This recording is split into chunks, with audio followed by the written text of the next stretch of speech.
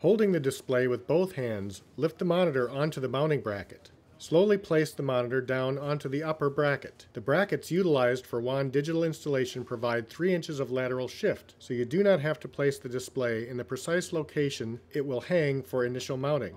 Once you feel the bracket snap into place, ease the bottom of the monitor towards the wall until you feel the lower bracket arm snap into place and hear the audible click.